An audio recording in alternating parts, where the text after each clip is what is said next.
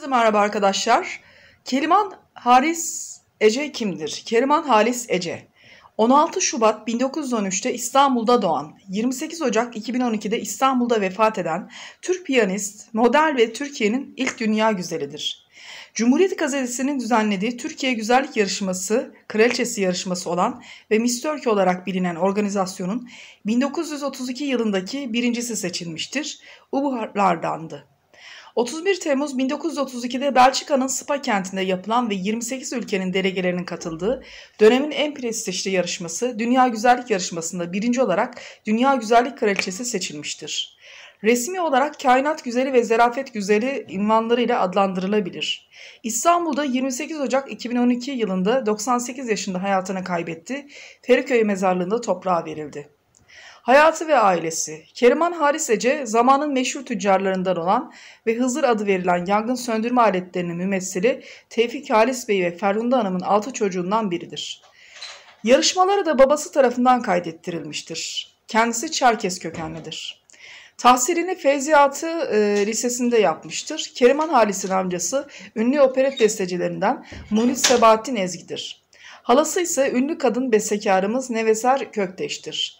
Galatasaray Spor Kulübü'nün idarecilerinden Turgan Ece ise kardeştir.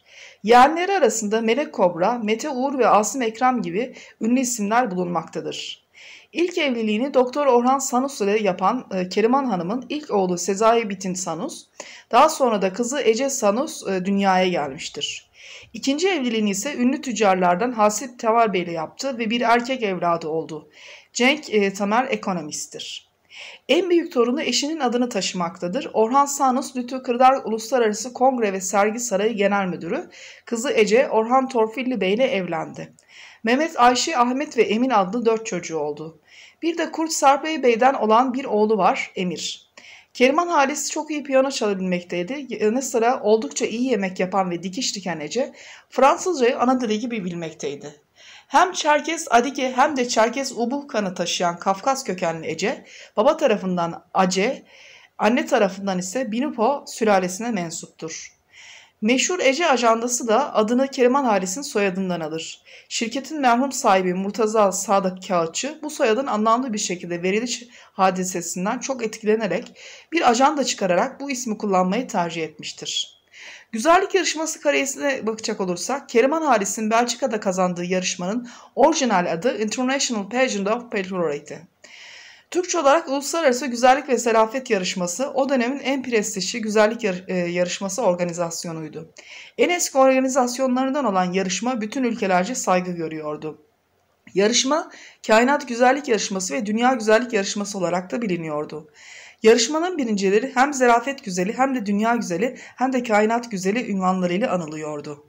Ancak yarışma el değiştirip adı Kainat e, Güzellik Yarışması olarak düzenlenmeye başlanınca günümüz adıyla Miss Universe yeni bir yarışma olarak dünyaya sunuldu ve Miss Universe güzellikleri ayrı başlık altında toplandı.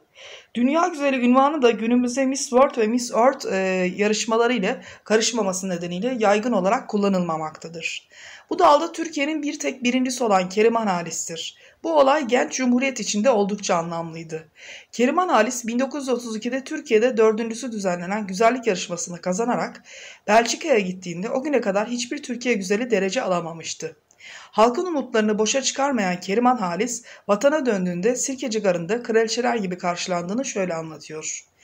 En sonunda ben ve Almanya güzeli kaldık. Kırmızı bir tuvalet giymiş, yakasına da beyaz kurdele takmıştım. Jüri başkanı elindeki zarfı açtı. Heyecandan bayılabilirdim ve bütün tiyatro salonu yaşasın Miss Turkey diye sesleriyle inledi. Keriman Halis yarışma sonrasında bir Türk bayrağının bulunmaması nedeniyle halkın tezahüratına cevap vermemiş ve bunun üzerine metrelerce atlas bulunarak bayrak orada yapılmış ve balkondan dalgalandırılarak izleyicilere gösterildikten sonra kendisini görmeye gelen halkı selamlamıştır. Ayrıca Keriman Halis o yıllarda koyu kahverengi göz rengine, parlak uzun siyah saçlara, bembeyaz bir tene ve 1.65'in üstünde bir boya sahipti. Doğum yılı 1913 olarak e, bilinmektedir. Ancak günü ve ayı insanların nüfus belgeleri 20. yüzyılın başlarında Hicri ve Rumi takvimlere göre tespit edilmekteydi. Bunun miladi takvime göre karşılığı 16 Şubat günüydü. Atatürk bu yarışma e, sonrasında yaptığı açıklamada tam olarak Türk ırkının Necip soylu güzelliğinin daima mahfuz olduğunu gösteren dünya hakemlerinin bu Türk çocuğu üzerindeki hükümlerinden memnunuz. Fakat Keriman Ece e, hepimiz işittiğimiz gibi söylemiştir ki o bütün Türk kızlarının en güzeli olduğu iddiasında değildir. Bu güzel Türk kızımız ırkının kendi mevcudiyetinde tabi olarak tecelli ettirdiği güzelliğini dünyaya, dünya hakemlerinin tasdikiyle tanıttırmış olmakla elbette kendini memnun ve bahtiyar admetle haklıdır. Türk milleti bu güzel çocuğunu şüphesiz samimiyette tebrik eder. Cumhuriyet gazetesi bu meselede Türk ırkının diğer dünya milletleri içinde mümtaz olan asıl güzelliğini göstermek teşebbüsünü takip etmiş ve bunu dünya nazarında e, başarıyla ihtaç eylemiştir. Ondan dolayı Bitta Bey bu vesileyle de takdir ve tebriklerimize de hak kazanmıştır. Arzusunda ilave edeyim ki Türk ırkının dünyanın en güzel ırkı olduğunu tarihi olarak bildiğim için Türk kızlarından birinin dünya güzeli intihap edilmiş yani seçilmiş olmasını çok tabi buldum. Fakat e, Türk gençlerine bu münasebette e, şunu da e, hatırlatmayı lüzumlu görürüm. Münferit olduğumuz yani iftihar ettiğimiz tabi güzelliğimizi fenni tarza muhafaza etmesini biliniz ve bu yolda uyanık bir tekamülün mütemadi tahakkunu e, ihmal etmeyiniz. Bununla beraber asıl uğraşmaya mecbur olduğumuz şey analarınızın ve atalarınızın oldukları gibi yüksek kültürde, yüksek fazilette birinciliği tutmaktır demiştir. Keriman Halise 1934'te çıkan soyadı kanunu ve yarışmadaki başarısından sonra bizzat Atatürk tarafından kraliçe anlamına gelen Ece soyadı resmi olarak verilmiştir. Yalova'da, Yalova'da bulunan Atatürk'e Paris'te bulunan dünya güzeli Keriman Halis Hanım da şu telgrafı çekmiştir. 15 günden beri memleketinden hiçbir haber alamamıştım. Bugün Paris sefaretimizde, büyükelçiliğinde layık olmadığım kıymetler iltifatınızı gazetelerde gördüm. Meseretinden ağladım. Bu muvaffakiyetin sizin memleket kadınlığına telkin ettiğiniz fikirlerin eseridir. Tanrı'nın sizi üzerimizden eksik etmemesi temennini yad etmekteyim. İhtiramımın kabulünü rica ederim efendim Keriman Halis. Evet sevgili arkadaşlar Keriman Halis'e Ece soyadını Atatürk vermiştir. O da 1934 yılında çıkan soyadı kanunu ile vermiştir.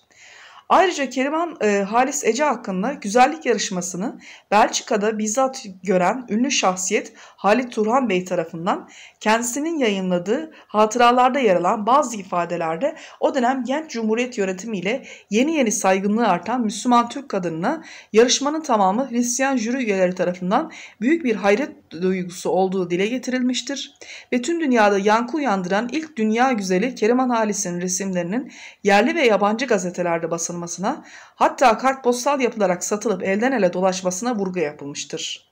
İslamiyet temeli ve e, Osmanlı İmparatorluğu'nun geleneksel bir bağnazlık içerisinde olduğu yönünde olan ön yargıların asılsız ve yanlış olduğundan bahsedilmiştir. Türkiye'nin katıldığı bu güzellik yarışmasının maksatlı sonucu yurt içinde de kısa zamanda etkisini göstererek kiraz güzeli, karpuz güzeli, festival güzeli gibi yarışmacıların yayılmasına sebep olmuştur. Keriman Halis Ece'nin yıllar boyunca konuşulmakta olan ünü ve hikayesi Japonya'yı da etkilemiştir. Japonya'da okullarda hem temel eğitim hem de lisans eğitimi, evet yanlış duymadınız, Japonya'daki okullarda hem temel eğitim hem de lisans eğitimi ders kitaplarında Keriman Halis olayı diye okutulan bir konu vardır. Konu genç cumhuriyet yıllarını yaşayan Türkiye Cumhuriyeti'nde 1927 yılında ilk kez halk tarafından manevi anlamda sayılan Türk kadınının uzun bir süreç içinde erkek egemenliği ve baskısından kurtulmasıdır. Evet Türk kadını güzelliğini göstererek ilk defa e, erkek egemen ve baskı bir dünyadan kurtulmuştur. Evet sevgili arkadaşlarım, sevgili izleyenlerim, Şam'dan dergisine röportaj vermiş Keriman Halis Ece. E, Çerkez asıllı kendisi. E, biliyorsunuz eskiden yarışmalara Çerkez asıllar, göçmenler genelde giriyordu. E, genellikle İç Anadolu ve Doğu Anadolu halkının bundan haberi olmuyordu ama şu anda herkesin her şeyden var. İşin enteresan tarafı güzellik yarışmaları artık hiç kimsenin ilgisini çekmiyor. Yani 2000 yılından sonra e, kimse yani hatta televizyona dansöz çıktı ama bu nereden çıktı diye e, kimse ilgilenmiyor. Ne dansözle ne işte e, şeyle güzellik yarışmalarıyla kimse ilgilenmiyor. Hele ki şu anda e, sosyal medya aracılığıyla herkes kendisini tanıtıyor. Artık insanlar birbirleriyle ilgileniyorlar. Yani günümüzde artık ünlü olmanın da bir değeri kalmadı. E, günümüzde artık sadece güzel olmanın da bir değeri kalmadı. e, sevgili arkadaşlarım, sevgili izleyenlerim. E, çünkü güzelliğin yanı sıra aklınızı, zekanızı kullanmanız gerekiyor. Bunların yanı sıra birçok şeyleri yapmanız gerekiyor. Evet, e, YouTube kanalıma abone olmayı unutmayınız. Yeni videolarımdan haberdar olmak için. Hoşçakalınız.